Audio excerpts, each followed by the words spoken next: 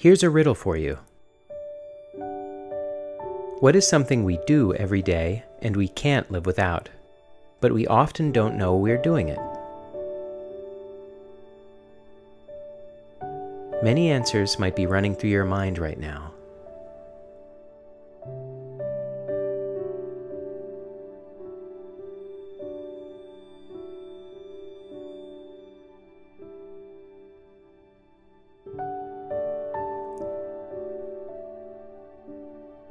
The answer is breathing.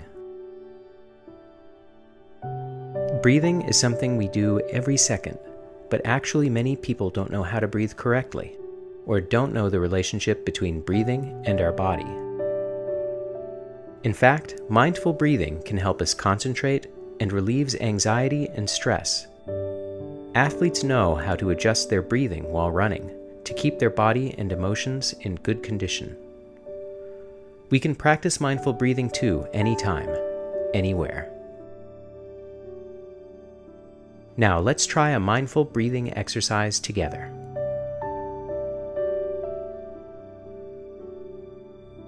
First, let's sit in a comfortable position with your feet touching the ground, hands on your thighs, and your shoulders relaxed.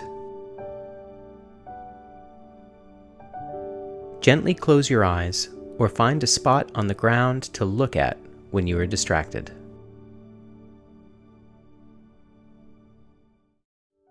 Imagine you are a tree. Straighten your back like a tree trunk. Focus, pay attention to how you exhale and inhale, and see how your body feels. You don't need to use special methods to breathe because your body knows how to breathe. When you breathe in, notice that the air is entering your body. When you exhale, notice that the air is leaving your body. If you notice any thoughts and emotions, it's okay. It's completely normal. Pay attention to the things distracting you. Don't criticize yourself just because you were distracted. Bring your attention back to your breathing and keep your attention on it. When you are ready, gradually bring your attention back to your current environment.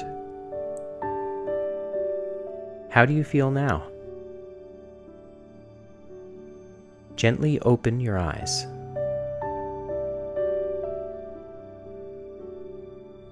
Looking back at the breathing exercise just now, what did you think of when you were breathing? How did you feel?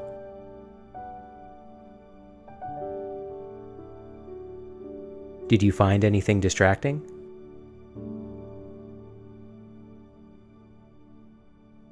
How do you feel now?